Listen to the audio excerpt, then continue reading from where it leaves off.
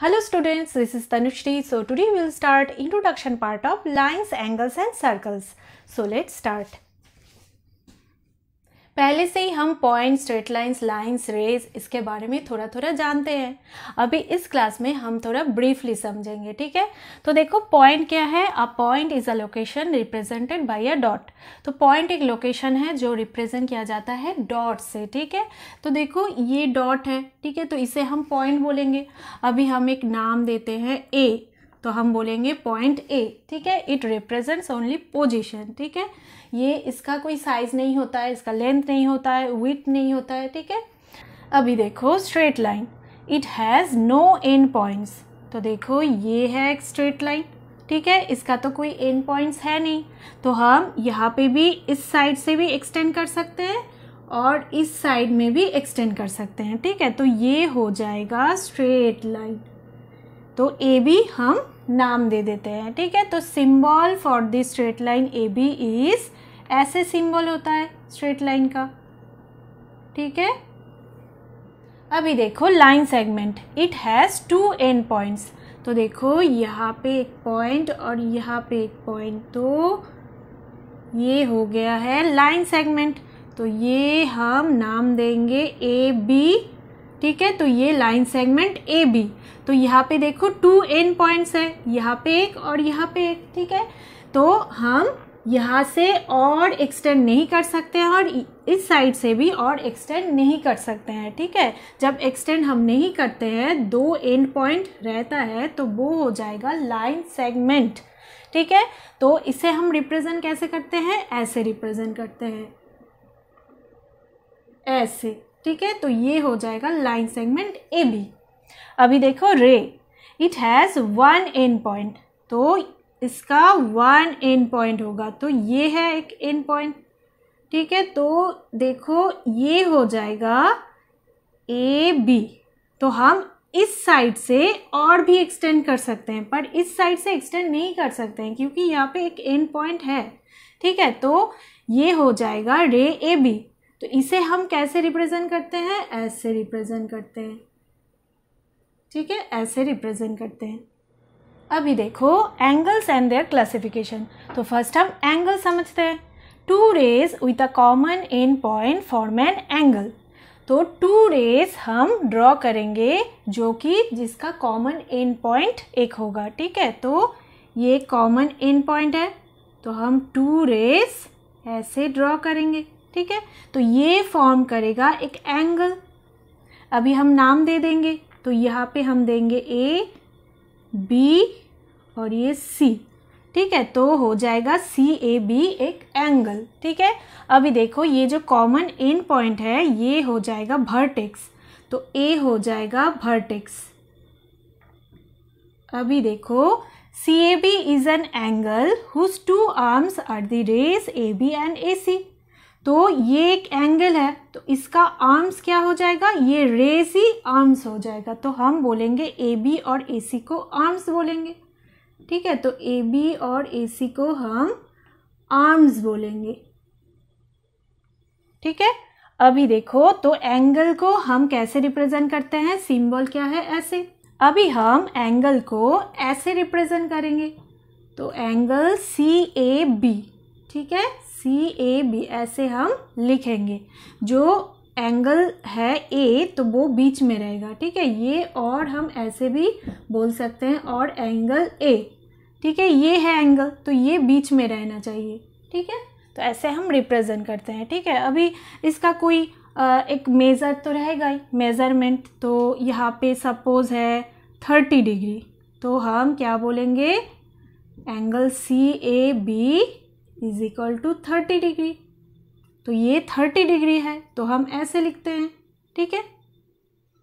तो अभी देखो क्या क्या एंगल्स है तो फ़र्स्ट है राइट एंगल राइट एंगल क्या है? An angle is called a right angle if its measure is 90 degree तो हम राइट right एंगल कौन सा एंगल को बोलेंगे? 90 डिग्री जो एंगल होगा, उस एंगल को हम राइट right एंगल बोलेंगे। तो 90 डिग्री कैसा दिखता है? ऐसा दिखता है 90 डिग्री तो ऐसा होगा, ये है 90 डिग्री।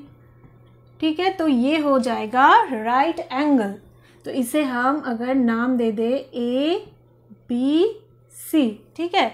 तो इसे हम बोल सकते हैं इस एंगल का आर्म्स क्या है? ए बी और बी सी तो ए बी और B C perpendicular to each other ऐसे भी हम बोल सकते हैं, ठीक है? राइट एंगल होने से परपेंडिकुलर भी होता है, ठीक है? अभी नेक्स्ट देखो एक्यूट एंगल एक्यूट एंगल क्या है? An angle is called an acute angle if its measure is less than 90 degree तो 90 डिग्री से जो छोटा एंगल है, उसे हम बोलेंगे एक्यूट एंगल तो देखो 90 डिग्री से छोटा एंगल सपोज़ 45 डिग्री ठीक है? तो ए बी सी तो ये 45 डिग्री है। तो इसे हम क्या बोलेंगे? इसे एक्यूट एंगल बोलेंगे। अभी देखो obtuse angle an angle is called an obtuse angle if its measure is greater than 90 degree but less than 180 degree तो ऑप्टिव्स एंगल कौन सा एंगल होगा? जो 90 डिग्री से बड़ा होगा, पर 180 डिग्री से छोटा होगा। तो देखो 90 डिग्री से बड़ा 90 डिग्री से बड़ा तो सपोज़ 110 डिग्री पर but less than 180 degree 180 degree कितना है? 180 डिग्री ये पूरा 180 डिग्री है. ये 90 डिग्री अगर हुआ तो ये पूरा 180 डिग्री है. ठीक है? 180 डिग्री से छोटा होगा. ठीक है? तो ये हो जाएगा ऑप्टिव एंगल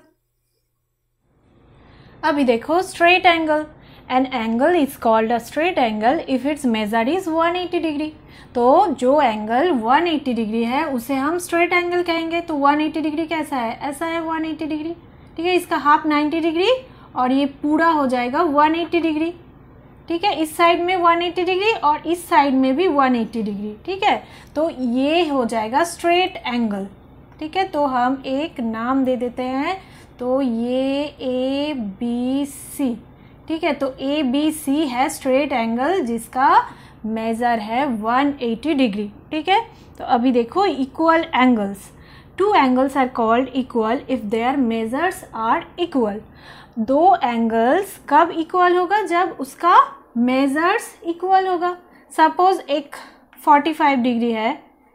ऐसा है 45 डिग्री ए बी सी और एक है ऐसा है, ठीक है?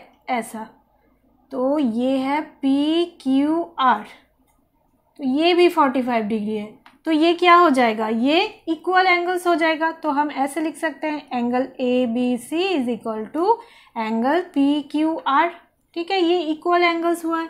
तो इसे हम ऐसे रिप्रेजेंट कर सकते हैं इक्वल बोल के ऐसे हम बोल सकते हैं। अभी देखो कम्प्लीमेंट्री एंगल्स और सप्लीमेंट्री एंगल्स तो कम्प्लीमेंट्री एंगल्स फ़र्स्ट देखो। A pair of angles are called complementary to each other if the sum of their measures is 90 degree that is one right angle तो देखो, अगर दो एंगल्स की सम 90 degree हुआ तो एक एंगल और एक एंगल की कम्प्लीमेंट्री एंगल हो जाएगा।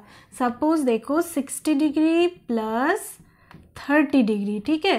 तो दो एंगल्स का सम 90 डिग्री है। तो 60 डिग्री हो जाएगा 30 डिग्री का कम्प्लीमेंट्री एंगल और 30 डिग्री हो जाएगा 60 डिग्री की कम्प्लीमेंट्री एंगल ठीक है?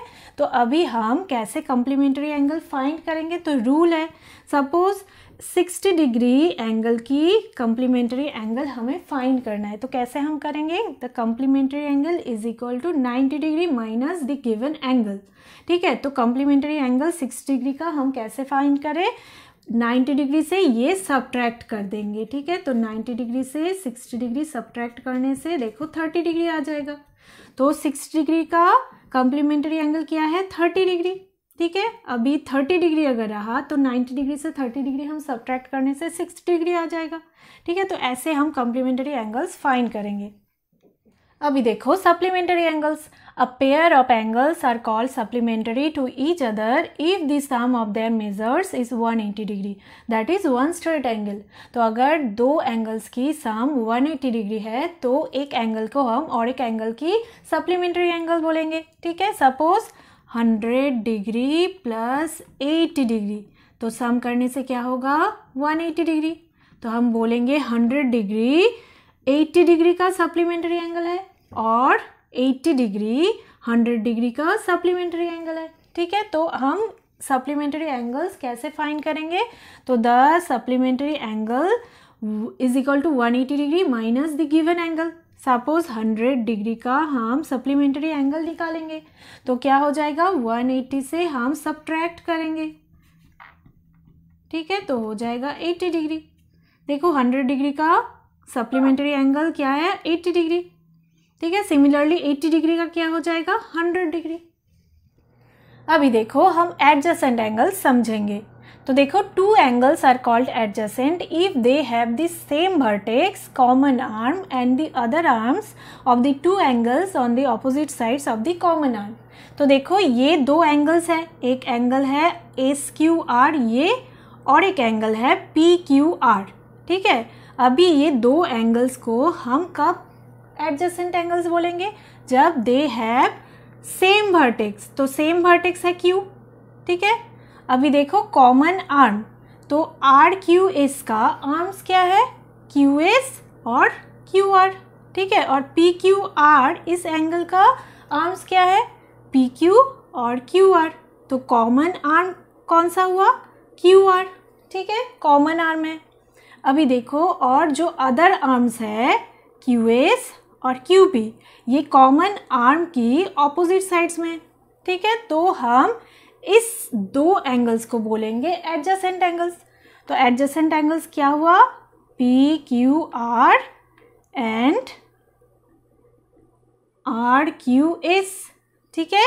ये और ये हो जाएगा एडजसेंट एंगल्स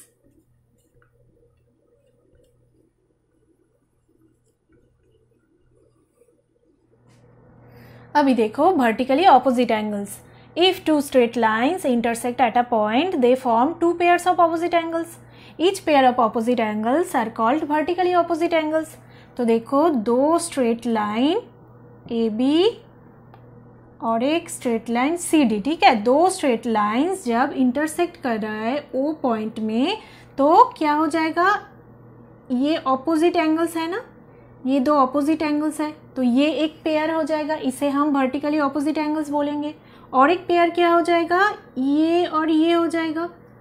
ठीक है, ये दो भी ऑपोजिट एंगल्स हैं तो एक पेयर ये है और एक पेयर ये है। तो इसे हम वर्टिकली ऑपोजिट एंगल्स बोलेंगे। तो क्या क्या हो जाएगा? देखो angle A O C and angle B O D ठीक है, ये एक पेयर है, इसे हम क्या बोलेंगे? वर्टिकली ऑपोजिट एंगल्स और एक पेयर क्या है? Angle A O D and angle C O B ठीक है? और एक पेयर है ये. पेयर ऑफ़ ऑपोजिट एंगल्स ये एक पेयर ऑफ़ ऑपोजिट एंगल्स है और एक पेयर ऑफ़ ऑपोजिट एंगल्स ये है. तो इसे हम वर्टिकली ऑपोजिट एंगल्स बोलेंगे. ठीक है? इसे और इसे. एक प्रॉपर्टी है वर्टिकली ऑपोजिट एंगल्स का, ठीक है? ये इंपॉर्टेंट प्रॉपर्टी है, ये हमें याद रखना है। देखो if two straight lines intersect the measures of the vertically opposite angles are equal तो अगर दो स्ट्रेट लाइंस इंटरसेक्ट करता है तो वो जो वर्टिकली ऑपोजिट एंगल्स फॉर्म करेगा, वो हो जाएगा इक्वल ठीक है? सपोज़ देखो, ये दो लाइंस इंटरसेक्ट करेगा, ठीक है? तो ये ए बी है और ये सी डी है। तो ओ पॉइंट में इंटरसेक्ट करता है, ठीक है? तो यहाँ पे देखो, ये है, दिया हुआ है angle C O B forty degree ठीक है? तो एंगल ए ओ डी हमें निकालना है तो हम कैसे निकालेंगे ये प्रॉपर्टी यूज़ करके? तो प्रॉपर्टी एज अ प्रॉपर्टी हमें पता है, अगर दो लाइंस इंटरसेक्ट करता है तो वर्टिकली ऑपोजिट एंगल्स जो फॉर्म होता है, वो इक्वल हो जाता है। यहाँ पे तो इंटरसेक्ट क्या है? तो ये दो एंगल्स सेम है इक्वल है। तो हो जाएगा, देखो angle A O D is equal to angle B O C is equal to forty degree ठीक है? तो ये भी फोर्टी डिग्री और ये भी फोर्टी डिग्री हो जाएगा। ठीक है? इस चैप्टर की इंट्रोडक्शन मैं दोनों पार्ट्स में करूँगी। तो ये था पार्ट वन और इस इंट्रोडक्शन पार्ट की जो रिलेटेड जो एक्सरसाइज है, उसके वीडियो की लिंक मैं नीचे डिस्क्रिप्शन बॉक्स में दे दूँगी। तो आप लोग जाके देख लेना।